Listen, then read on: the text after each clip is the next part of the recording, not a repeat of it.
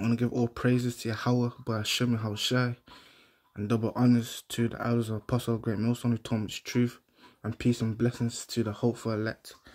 And this lesson is basically on um this guy wearing a dress. I'm just gonna get into the scriptures. Um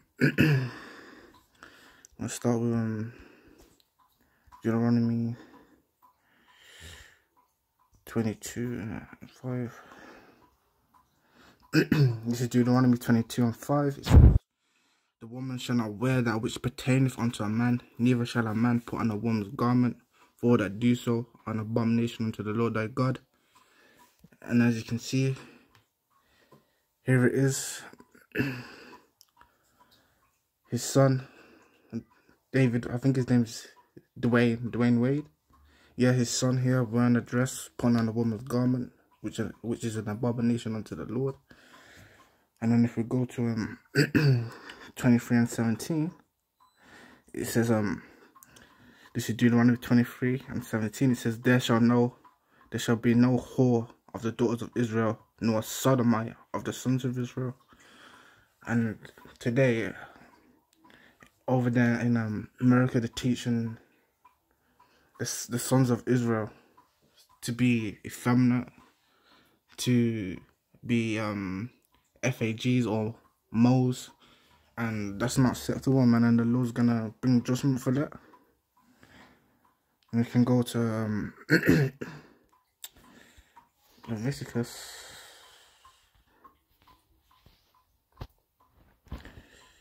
Twenty and thirteen. This is Leviticus 20 and 13 says, If a man also lie with mankind, as he lieth with a woman, both of them have committed an abomination, and they shall surely be put to death. Their blood shall be upon them. So there you go, man. If the thingy um dove into those lusts, the Lord's gonna reward them with thingy um with death, man. And like he says, the the thingy um the blood shall be upon them, man. The will rewarded evil unto themselves. Um, and we can go to um, First Corinthians six and nine. Six nine. Actually, I think there's another scripture I want to get. Um. Actually, let me just read this. This is First Corinthians 6 and 9. Says, Know ye not that unrighteous, unrighteous shall not inherit the kingdom of God? Be not deceived, neither fornicators, nor idolaters, nor adulterers, nor effeminate, nor abuse of themselves with mankind. And the point in this, in verse 9, is, No effeminate shall, shall inherit the kingdom of God. So basically, um, this guy here this this isn't acceptable man. This isn't acceptable in the eyes of Yahweh but share, and he's not going to inherit the kingdom of God. He's gonna have to pay for his iniquity. He needs to repent. And um we can go to um Romans 6 14. This is Romans 6 and 14. It says, For sin shall not have dominion over you, for ye are not under the law, but under grace. What then shall we sin because we are not under the law, but under grace? God forbid. So just because we're under grace, that doesn't mean we can willfully sin. Because the Lord didn't give anyone a license to sin. And I got that right here. It's Ecclesiasticus 15 and 20. It says, He have not commanded no man to do wickedly, neither have he given any man a license to sin. And we can go to um Judges five and eleven. And it says, They that are delivered from the noise of the archers in the place places of drawing water. And here's the point there shall they rehearse the righteous acts of the Lord, even the righteous acts toward the inhabitants of his villages in Israel. Then shall the people of the Lord go down to the gates And the point is um rehearsing of righteous acts, which means to practice, practice the law, keep it to the best of your ability. Because one of the reasons why Yahushua died on a cross was that so that we could repent and have forgiveness of sins, man. if we go to what's called um Acts five and thirty one. It says um him have God exalted with his right hand to be a prince and a savior, for us to give repentance to Israel and forgiveness for sins. So there you go, man.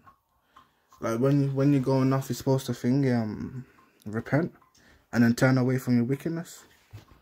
If not, then the Lord's gonna bring judgment upon you, man. then we can go get the last scripture. Actually, um, gave them up.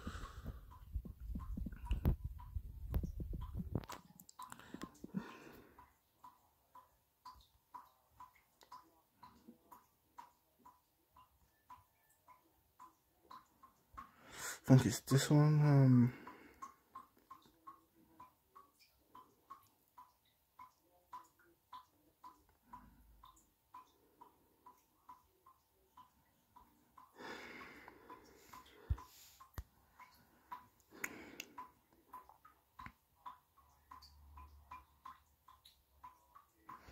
yeah, this is Romans 1 and 23.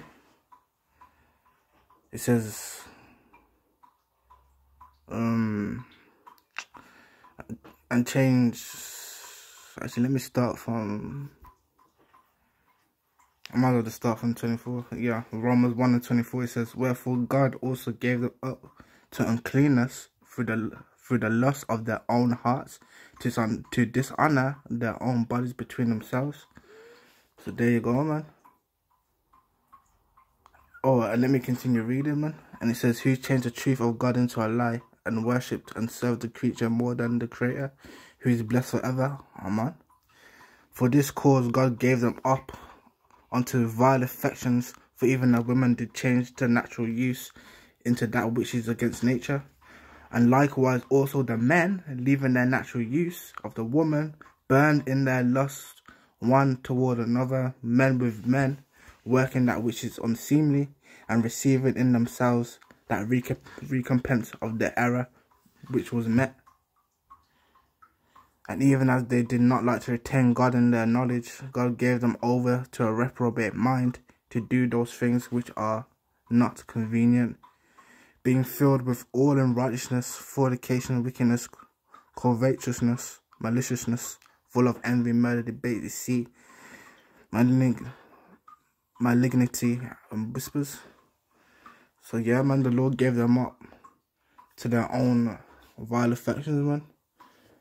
And that's all because um at the end of the day the Lord just gonna destroy them, man. And it tells you, man, um that those who don't seek the Lord shall be put to death, great or small.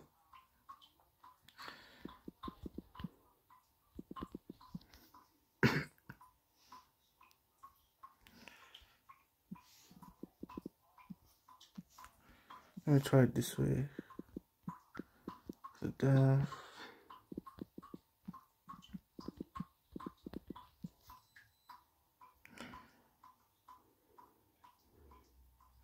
Yeah, here it is. This is Second Chronicles, Second Chronicles 15 and 13. It says, That whoever will not seek the Lord God of Israel shall be put to death, whether small or great, whether man or woman. So there you go, man. You got to seek the Lord while he may be found. Because if not, he's going to give you over, man, to that sword. And you're going to perish, man. And yeah, I hope this lesson's been edifying. And yes, shalom.